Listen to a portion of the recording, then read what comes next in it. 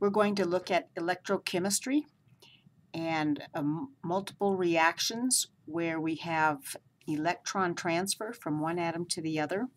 So often this is called oxidation reduction or redox for short. So I want to start with a combination reaction and this would be for the formation of sodium chloride. So if we have sodium, the element, it would occur in the form of a solid, and chlorine, the element. If we bubbled chlorine gas over sodium, we'd have a very exothermic reaction and the formation of the salt, sodium chloride. So there we've got the balanced equation. And if we remember, we're going to consider oxidation states. And oxidation states, or, or sometimes called oxidation number, those are usually charges. That would be the case for a simple ionic compound. And if we remember the fluorine, chlorine, bromine, and iodine like to have a negative one charge. So these elements steal elect or these atoms steal electrons from metals. So column one the oxidation state is always a plus 1 if there's a charge. Column 2 is plus 2. The transition metals have variable charges. So we'll be looking at uh, those types of reactions. So remember, elements have a charge of 0. So chlorine is a diatomic element. During this combination reaction, chlorine steals an electron from sodium, and sodium loses its electron to chlorine. So we would say that the sodium metal with a charge of zero was oxidized to sodium plus one ion, oops, oxidized to sodium plus one, the ion, and chlorine, an atom of chlorine, was reduced to Cl minus 1.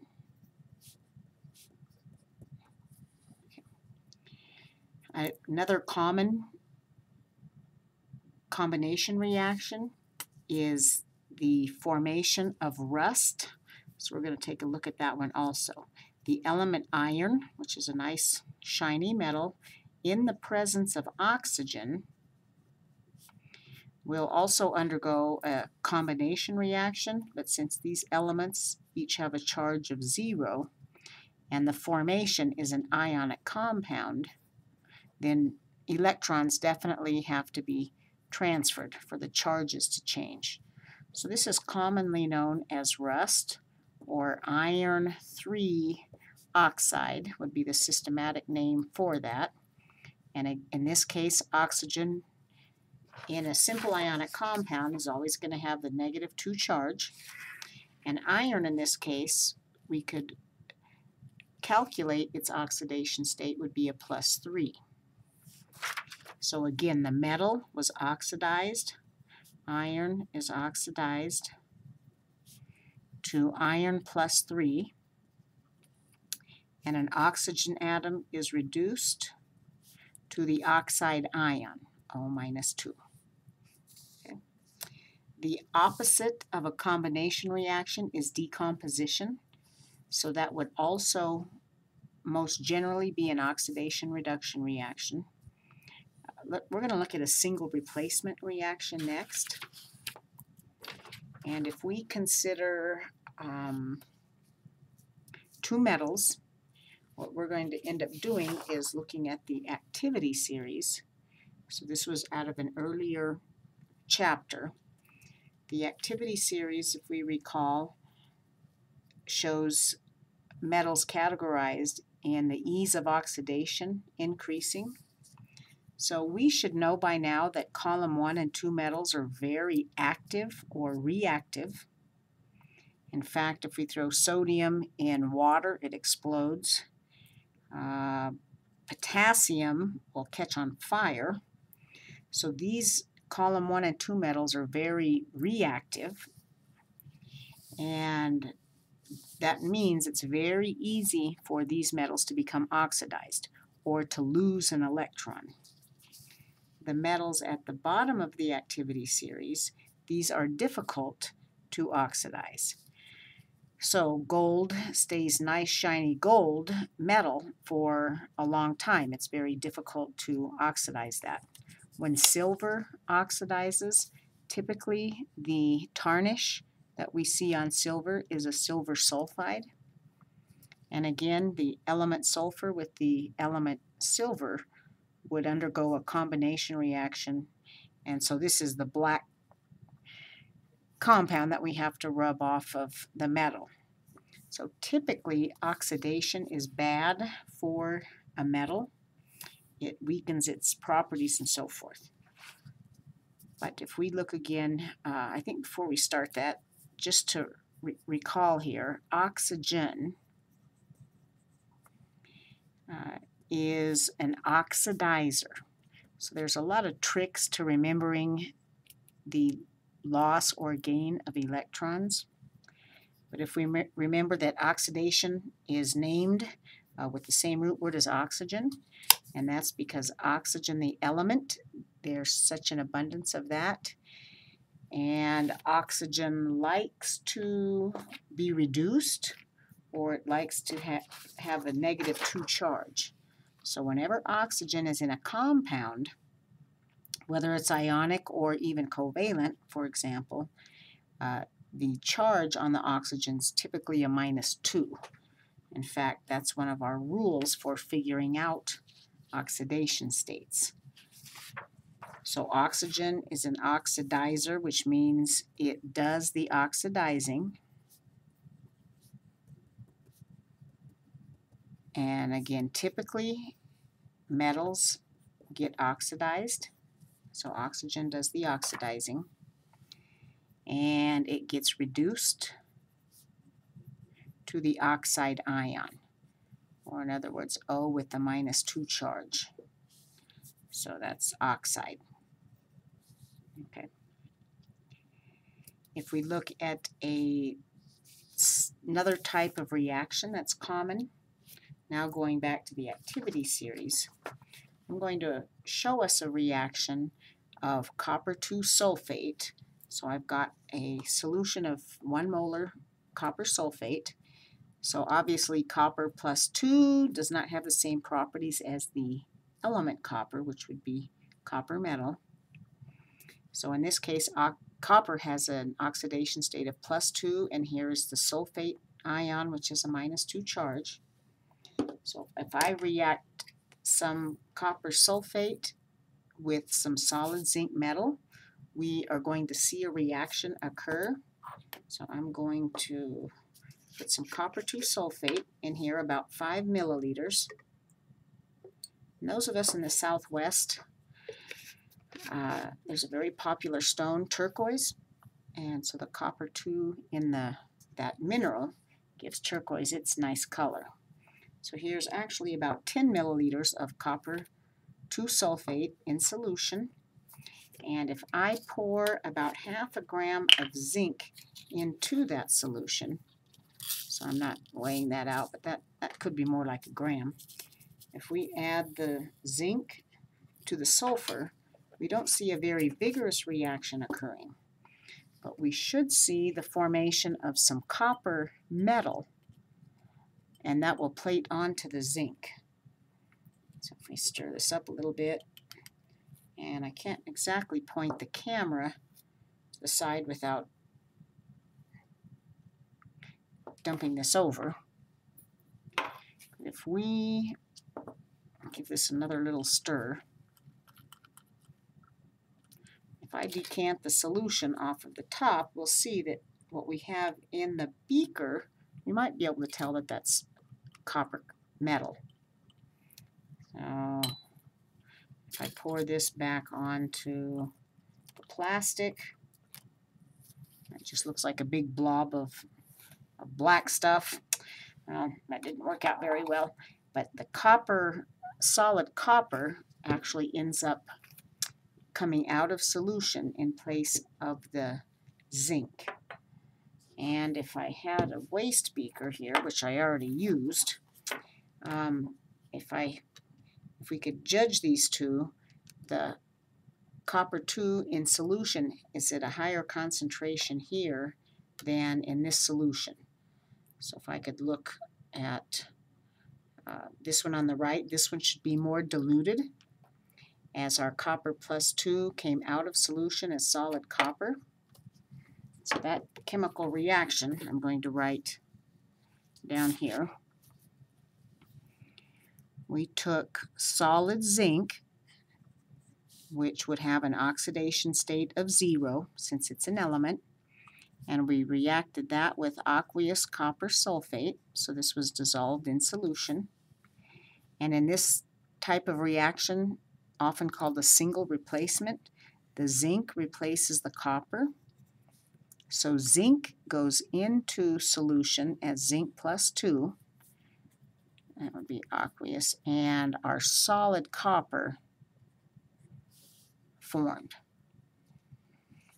So in this case, our zinc was oxidized to zinc plus 2. And our copper 2 in solution, this, the nice pretty blue solution, the copper 2 was reduced to solid copper. So copper plus 2, this would be in solution, was reduced to solid copper and we may have been required to predict whether this reaction would occur or not using the activity series. So if, recall, if we recall how to use this, the metal higher on the activity series is going to be oxidized, or the reaction will proceed in this direction. Since zinc is higher than copper on the activity series, then the solid zinc metal that we added to the copper, the zinc metal did get oxidized and go into solution, and the copper, the ion that was in solution, was reduced back down to solid copper. So that would be one other type of reaction that would be considered an oxidation reduction reaction. And we're going to eventually look at an electrochemical cell in which we have both of these compounds in solution and then both of the solid metals. Just as a reminder, I want to look at a combustion reaction. For example, the simplest one, uh, the simplest hydrocarbon methane in the presence of oxygen will make CO2 and H2O. This also falls in the category of an oxidation reduction reaction because in this compound, carbon has an oxidation state of minus 4, and that is because of rules for hydrogen. When hydrogen is in a compound, it's considered to be a plus 1. When oxygen is in a compound, it's a minus 2. So since we have four hydrogen plus 1s, we're going to say that carbon has an oxidation state of minus 4. In this case, this is not really a charge. So oftentimes, for a simple ionic compound, the actual charge is the oxidation number. But when we have molecules who share electrons, when there is no charge transfer within the compound, we still state that uh, a, an atom has an oxidation number. Oops. So in this case, carbon is minus 4. And in the case of CO2, since oxygen is going to have a minus 2 charge in a compound, then the oxidation state of this carbon would be a plus 4. So here, carbon's a plus 4. So in a combustion reaction, um, the carbon can either get oxidized or reduced. So in this case, our carbon minus 4 gets oxidized to carbon plus 4. So electron transfer is uh, very common in many reactions. Cell respiration, C6H12O6, that would occur in the presence of oxygen we would have the formation of CO2 and H2O. So this, in this case, Our carbon, I believe, has an oxidation state of zero. If we have 12 hydrogens, each being uh, plus one charge, and then we have six oxygens, each oxygen is a negative two charge. So we'd have uh, carbon, since sh this sugar has a charge of zero, the carbons also have to have an oxidation state of zero. And in carbon dioxide, again, our oxidation state is a plus four. So uh, many reactions are oxidation reduction reactions.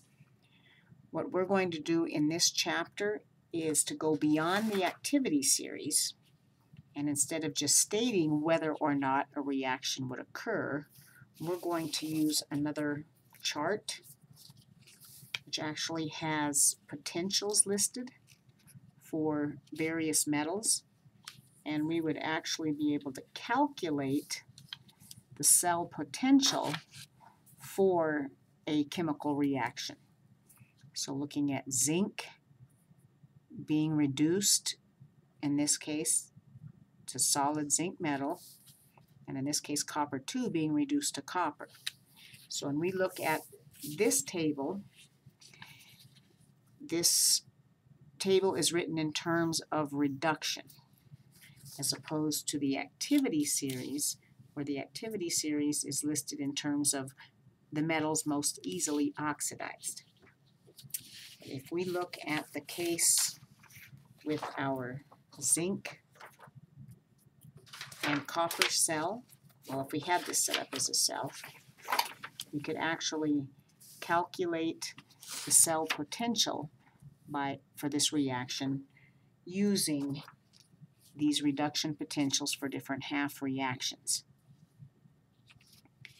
And if we remember Hess's law, and we know that these are thermodynamic properties, we can uh, combine reactions to come up with the overall thermodynamic property. So if we look at copper being reduced versus zinc being reduced, and we recall the activity series that zinc prefers to be oxidized, where copper is going to get reduced, then we can write a net reaction from this. So since our copper is getting reduced here, we can have our copper plus 2